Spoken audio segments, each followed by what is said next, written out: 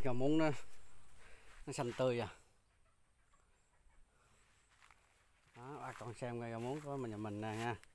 Rau muống này là rau muống tự mọc. Không có không có bỏ cái cái gì hết trơn á. Giờ cắt bỏ dục thôi dục cho cá ăn. Để nó nó, nó, nó, nó, nó già rồi từ từ nó già rồi. Giờ phải cắt bỏ cái mốt nó lên lại cái mới Đó. quá dữ. Đó là muốn. Ừ.